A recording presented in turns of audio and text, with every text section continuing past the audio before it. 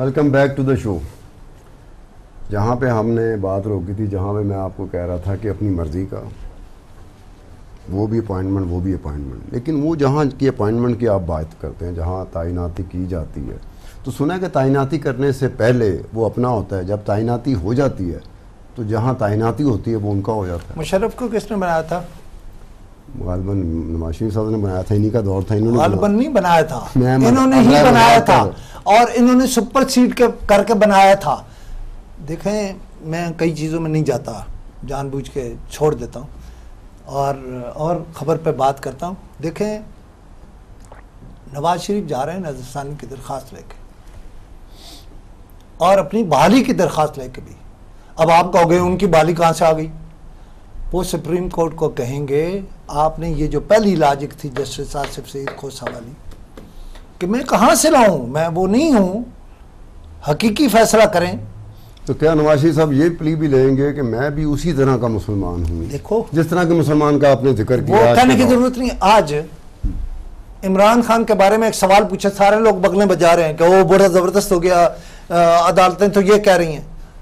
अदालतों ने पूछा है कि इमरान खान का जो फ्लैट था वो छह साल रहा है किराए पर। और जो एमनेस्टी स्कीमें आई हम्म, उसमें ज़िक्र टैक्स की उसमें भी ज़िक्र नहीं है। मतलब आम तो नहीं डिक्लेयर किया। ठीक है ठीक है जहाँ आपको एग्जेम्पन मिल रही है बता दो। जहाँ तो ये अकामे से अकामा डिक्लेयर अकामे के पैसे डिक्लेयर ना करने से बड़ी गलती है या छोटी गलती है? लिहाजा मैं आपको बताऊँ सुप्रीम कोर्ट बड़ी बुरी सूरत हाल में है। मुश्किल है। फैसला करना। इमरान खान की नाली का। लेकिन अगर नहीं करते तो ये प्रेशर तो है ना कि नवाज़ शरीफ नायल तो इमरान खान क्यों नहीं? और फिर वो गुलाला लई क्या? वो कल से एक और काम लेके बैठी है उस पर आगे चल के बात करेंगे। एक बात मैं आपको बताऊँ कई लोगों ने मुझसे पूछा है कि आप कैसे कह रहे हो कि बहाल हो जाएगा नवाज़ शरीफ? मैं पूछता हूँ वजीराबाद वाला इफ्तार चीमा कैसे हो गया था बहाल? और कैसे आ गया था अगले ज़िमनी इलेक्शन में? नवाज़ शरीफ पूछेगा, मैं ये ज़िमनी इलेक्शन लड़ सकता हूँ? उसने इफ्तार चीमा ने एक मस्जिद का अकाउंट था, जो डिक्लेयर नहीं किया था।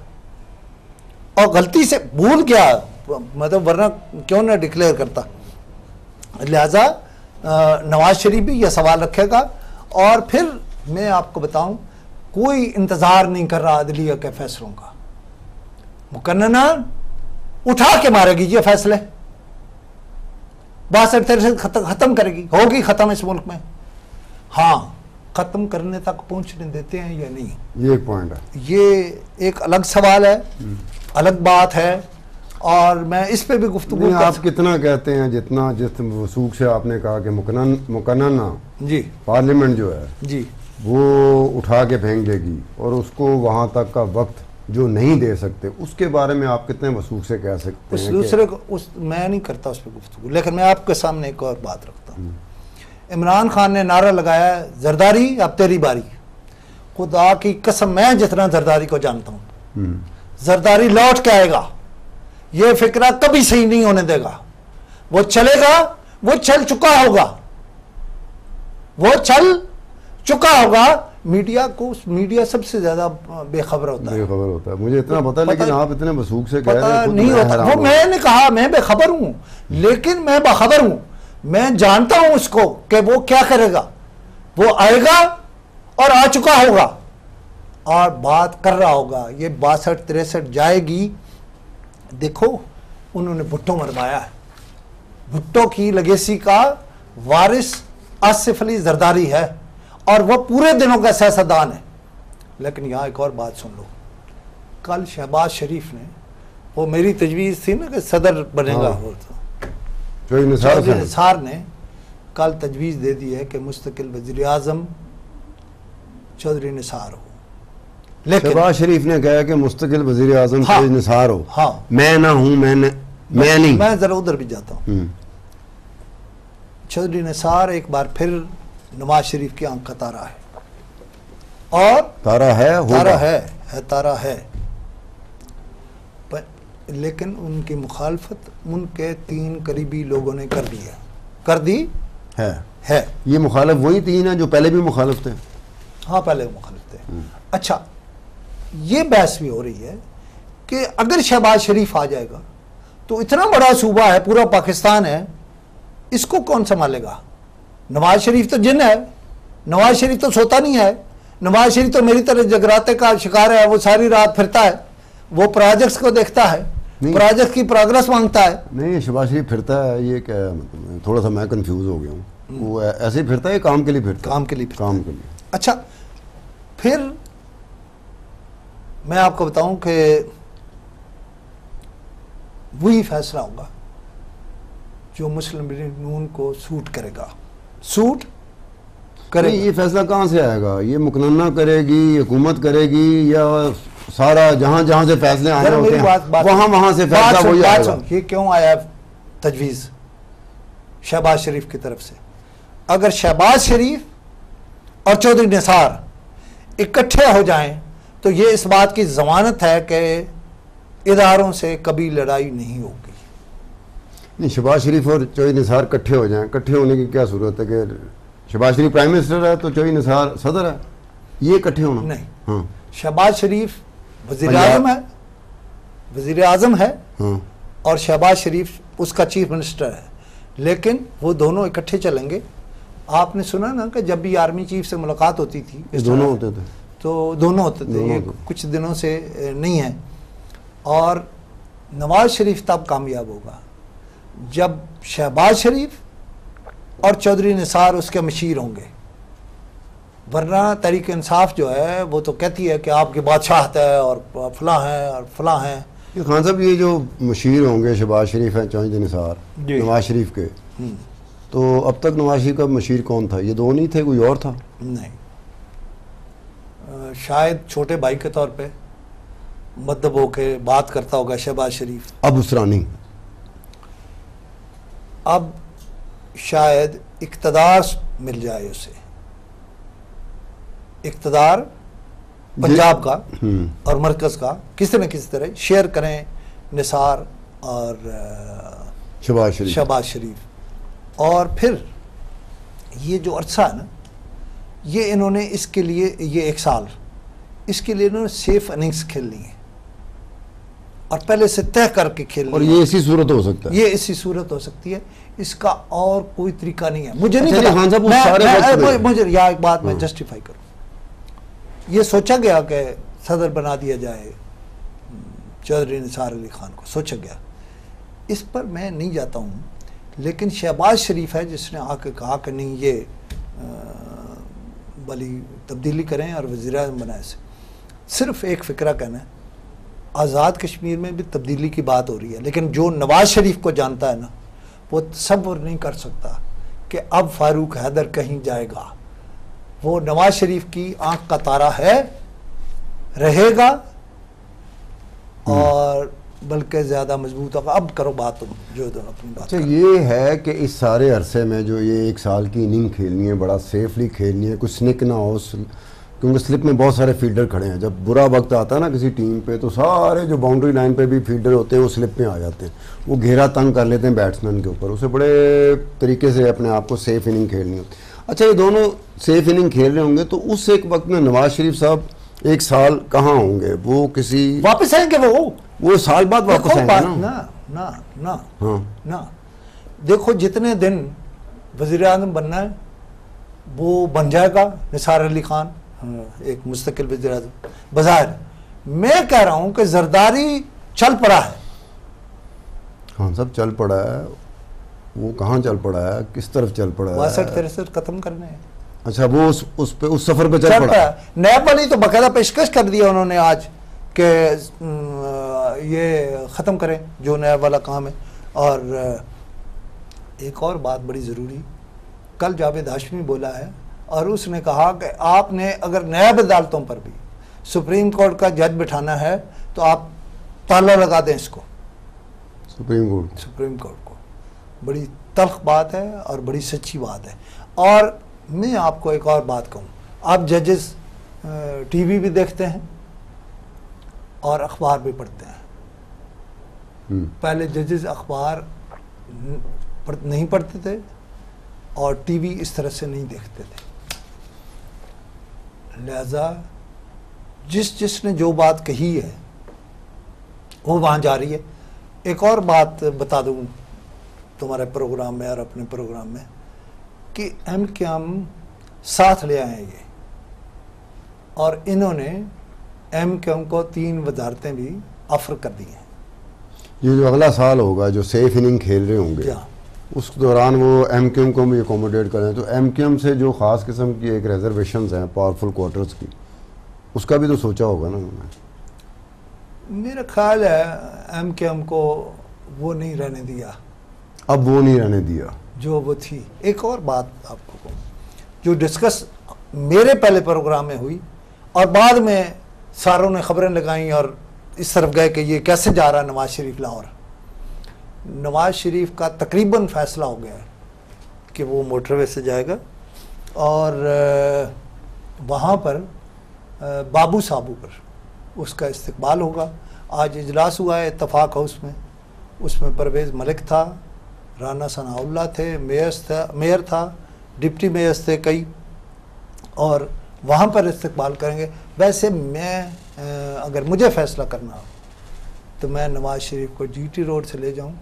या रेल से ले जाऊँ। और मेरी तजवीज़ पहले भी यही थी। मुझे पता है मैं मुतासर कर सकता हूँ। उनका फैसला बदलने का बदल- yes. आप इन्फ्लुएंस कर सकते हैं। आई नो मैं ऐसा एंकर हूँ। हम्म, अभी बावजूद मैं कई बातें नहीं कर रहा। देखो मैं मुझसे कोई बहस करके देख ले कि जीटी रोड से जाने से क्या फ़ायदा है? रेल से जाने का क्या फ़ायदा है? मुझे पता है आप क्यों कह रहे हैं? और इससे क्या फ़ायदा है? वैसे। एक और एक और खबर दूँगा आपको। हम्म, रहमान मलिक को यह था कि कई दिनों से टीवी पर नहीं आया। लिहाजा कल लंदन में उसने प्रेस कॉन्फ्रेंस की है। हम्म, और प्रेस कॉन्फ्रेंस में कहा है खबर दी है कि एक पार्टी ने तीन जासूस एजेंसियाँ हायर कर ली हैं लंदन की। एक अच्छा। पार्टी ने? एक पार्टी ने। वो अ, क्यों हायर कर ली हैं? मेरा ख्याल है अब बहुत कुछ निकलेगा। जो समझ रहे हैं ना कि हमारे पे गंद नहीं उछला और अभी- कल आ गई ना गुलाला ली। तो वहाँ से भी तीन एजेंसियाँ जिन्होंने हायर वो एक पार्टी नून लीग की होगी या कोई और भी हो सकती है? मैं देखो इस पे कोई बात नहीं करता लेकिन एक खबर और इश्तियाक बढ़ता है ना बंदे एक खबर एक पार्टी एक खबर और दे दूँ। हम्म, मुराद अली शाह चीफ मिनिस्टर सिंध जो है उससे जरदारी साहब के इख्तलाफात बहुत बढ़ गए हैं। वो मुराद अली शाह में इतने गट्स थे कि वो जरदारी साहब से इख्तलाफात पैदा कर सके। नहीं। नलकी की वजह से बढ़ गए अच्छा नालायकी की वजह से वो तो वो खजाना जो है वजारत खजाना अच्छा। उसमें कुछ गड़बड़ की इतला मिली है जरदारी साहब को। जो मुराद अली शाह साहब की नाहली की वजह से गफलत की वजह से हो रहा होगा। हुआ। उन्होंने उन्हें दुबई बुला लिया। और बड़ी सुना है कि बहुत नाराज़ बैठे हैं। वहाँ भी खजाने का मसला है। या हर हाँ, जगह खजाने का मसला है। देखो एक और मुलाकातें वैसे बड़ी ज़बरदस्त हुई आज लोगों को। नबील गबोल पीपल्स पार्टी वाले। पीपल्स पार्टी की मुलाकात नहीं थी ये। नबील गबोल की मुलाकात थी। वो मिले हैं सदर मुशरफ से। दुबई में? दुबई में। दो घंटे मिले हैं पीर पगाड़ा। और मुशरफ से लंदन मुशरफ से। और दो घंटे मिले हैं इशरतुल इबाद। लेकिन मैं कहता हूँ कि ये कोई अहम नहीं है। इसलिए कि इन्होंने सियासत में कोई तब्दीली नहीं लानी। ये बैठे होंगे रोटी खाई होगी आए होंगे बड़े बड़े मनसूबे बनाए होंगे। लेकिन ये कोई तब्दीली नहीं ला सकते। और मेरा चूँकि शहर है इस्लामाबाद हम्म, इसलिए इसकी भी एक बात करूँ हम्म। मुझे बड़ा दुख हुआ है कि एयरपोर्ट को जाने वाली मेट्रो की जो पट्टी अलग बन रही थी उसका काम एक तो बारिशों ने रोक दिया है और दूसरा नवाज़ शरीफ की वजारत उस्माना होने ने रोक दिया है। वो शायद नवाज़ शरीफ का ख्वाब था, नवाज़ शरीफ का भी यन था। पता नहीं अब कहते तो हैं खाकान कि मैं करूँगा, इस चीज़ों को देखूँगा प्रोजेक्ट लेकिन जिस तेज़ी से काम हो रहा था उस पर, अब उस तेज़ी से नहीं हो रहा है। और मैं उस एयरपोर्ट के बारे में, पता है, नवाज़ शरीफ को कि मैं पिछले प्रोग्रामों में कहता रहा एक मुशीर था जो लगा दिया गया सिविल एविएशन में। इसका घपला जब एक्शन होगा तो कई अरब का होगा और थोड़े सारे अरब नहीं होंगे।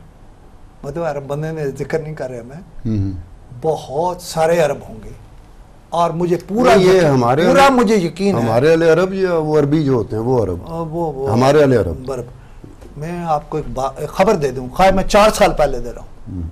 वो ज़रूर पकड़ा जाएगा जो सिविल एविएशन का वज़ीर था। इसलिए कि अभी उसकी बात चीज़ें एयरपोर्ट की। ऐसी खराबियाँ सामने आ गई हैं कि पूरा एक प्रोग्राम है कि वहाँ क्या हो। फिर मैंने और कागज़ मंगाए हैं। हम्म, और वो कागज़ क्या हैं जो पुलिस अफसरों ने करोड़ों रुपए करोड़ों करोड़ों मैं सिर्फ़ नाम के नहीं कह रहा करोड़ों। हम्म, जो करोड़ों रुपए खाए हैं सिंध में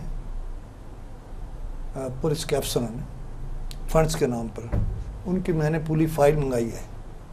और ये जो नौ हज़ार कल मैंने कहे थे कि जो- नौ हज़ार एयरपोर्ट से जो जा चुके हैं। जो जा चुके हैं हम्म। मैंने उनकी भी पूरी फ़ाइल मंगाई है सैनेट से। हम्म, कि ये कैसे गए कहाँ गए इदारों ने क्या ब्रीफ किया वो फ़ाइल सामने रखूँगा हम्म। और फिर उस पर बोलूँगा और वो करूँगा कि ये इदारे याद रहे ना ठीक है। अगे। अगे जरा हाँ, हाँ, हाँ जरा जरा हाँ। एक और एक और। आज एक खबर छपी है हम्म। कि साद रफीक जो है ना उसकी एक वीडियो वायरल हो गई है कि उसने असम्बली में लेके घुसा हुआ पिस्तौल पिस्तौल रखा हुआ। मेरा वीर है। हम्म, मेरा जान जिगर है मेरा टोटा है अच्छा। हाँ बिल्कुल। आपको बताऊँ बिल्कुल मैं एलानिया कह रहा हूँ। और वो अपने मुखालफों वैसे जैसे- वो अपने मुखालफों के लिए वैसे भी पिस्तौल है। हम्म, और नंगी तलवार है अपने मुखालफों के लिए। ये जिसने वीडियो चलाई है मुझे यकीन नहीं आया कि उसने कोई पिस्तौल रखा हुआ है। जमाना तलब में रखता था। और मुझे पता होता था कि इसके पास पिस्तौल भी है और ग्रेनेड भी है लेकिन अब साद रफ़ीक वो वो साद रफ़ीक नहीं है। अब एक बहुत ताकतवर साद रफ़ीक है और अपने मुखालफिन से निपटना जानता है लफ्ज़ों से। लफ्जों से ना? हाथों से नहीं लातों से नहीं या जो जो चीज़ लेके गए थे पता नहीं सही लेके गए थे। अच्छा एक और बात ये- सुनो एक एक एक एक एक एक करो ये इमरान खान जो नहीं गए ना इसकी भी एक कहानी सामने आई है असम्बली नहीं गए। दो वजूहत थी। एक वजह तो वही थी जो मैं बयान कर चुका हूँ कि वो शेख रशीद को पसंद नहीं करते। उन्होंने कुछ एहसानों का बदला अगर पसंद नहीं करते तो मजबूरी क्या है इमरान खान मजबूरी ये है कि वो बना दिया उसको उम्मीदवार और फारग कर दिया। फारग कर दिया। नहीं तो वैसे ही उन्होंने फारूक बनाया था। अच्छा जरा जरा सुनो। बन गया उम्मीदवार तो चलो हो गया था। हम्म, लेकिन एक और दूसरी खबर है मेरे पास। वो ये है कि इमरान खान इसलिए नहीं गए वहाँ कि उनकी पार्टी के लोगों ने उन्हें बताया कि पार्लियामेंट के तमाम दरवाज़ों पर मुस्लिम लीगी कारकुनों का कब्ज़ा है।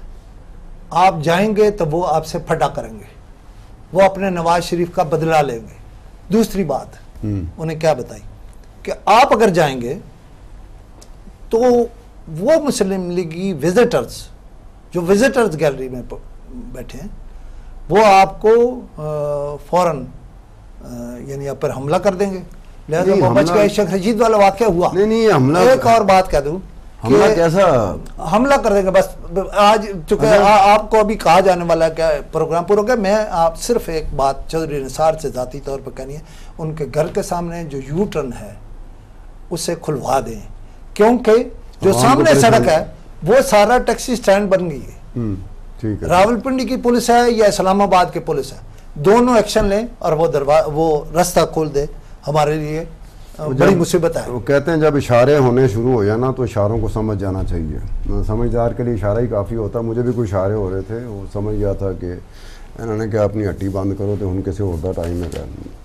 खुशनूर अली खान साहब का शो है उन्हीं के नाम से है और साठ के साठ मिनट इन्हीं के हैं। वो कह रहे हैं कि कुछ ऐसे मामला होंगे कि शहबाज शरीफ और चौधरी निसार का एक डेओ बनेगा ताकि ये जो साल है इलेक्शन से पहले ये इसको बड़े मोहताद अंदाज में खेलने की ज़रूरत है। हालाँकि पहले अगर खेल लेते और यहाँ अच्छा एक और एक, एक और बंदा भी आएगा टीवी पर अगले एक दो दिनों में जो गुलाली के ये बताएगा कि इसने तीन कौन सी शर्तें पेश की थी। वो कोई नई नहीं है लेकिन वो जरा गंदा करने के लिए उसे। अच्छा गंदा करने के लिए। बहरहाल देखते हैं कितनी सेफ़ इनिंग खेली कि नहीं खेली बहरहाल मैंने तीन दिन में अपनी तरफ़ से बड़ी सेफ़ इनिंग खेली कि मुझे खान साहब के साथ बैठना था। मैं अपना उस काम में सफल हुआ कि नहीं हुआ लेकिन मैं उम्मीद करता हूँ कि आइंदा हफ़्ते से जो खान साहब के साथ उनके साथी एंकर होंगी तो वो अब उनके लिए एक इम्तहान लम्हा फ़िक्रिया भी होगा और इम्तहान भी होगा। और वो समझ लेंगे वो कमरा इम्तहान में बैठे होंगे जहाँ उनसे उनसे सवाल जवाब हो रहे होंगे। आज के दिन मुझे इजाज़त दीजिए और आज के दिन खुशनूद अली खान साहब को इजाज़त दीजिए मंडे को खुशनूद अली खान साहब फिर अपने शो के साथ इसी तरह बरा जमा होंगे। खुदा हाफिज़।